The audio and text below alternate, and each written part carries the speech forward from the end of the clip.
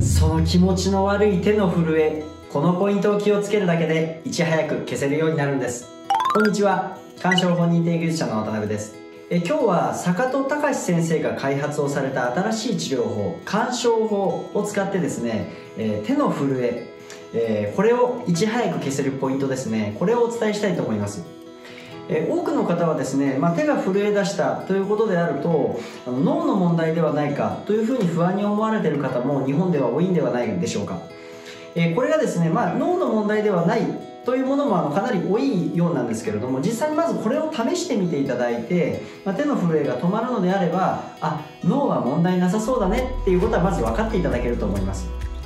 実際にじゃあ何をやっていくかなんですけれどもこのえー、鎖骨の内側のところですね鎖骨の背中側、えー、ここへですね指を、まあ、人差し指でも中指でもいいんですけどもこちら当てていただいて、え、肩を上げ下げする。この上げた時に縮んで下げた時に戻るというような動きをしていますので、え、この肩の上げ下げをするんですけどもこの時に、え、肩をですねこういうふうに早く動かすのではなくて2秒かけてゆっくりと12上げて122秒かけて下ろす。2秒かけて上げて2秒かけて下ろす。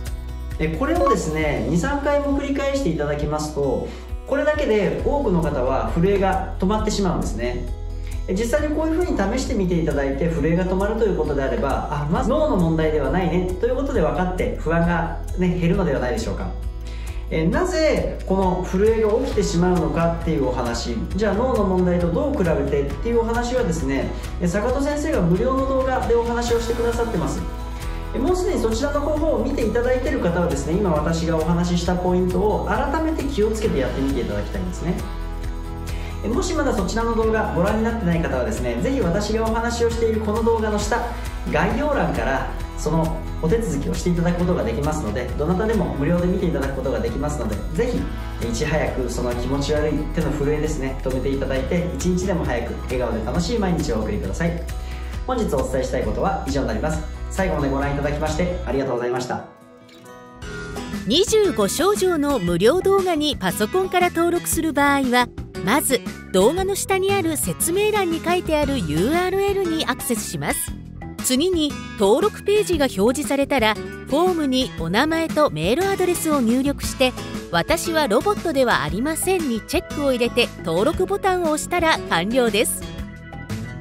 YouTube アプリで見ている場合は動画のタイトルをタップすると説明欄が表示されますのでまずここに書いてある URL をタップします。登録ページが表示されたらフォームがあるところまでスクロールさせてください。フォームにお名前とメールアドレスを入力して「私はロボットではありません」にチェックを入れて登録ボタンを押したら完了です。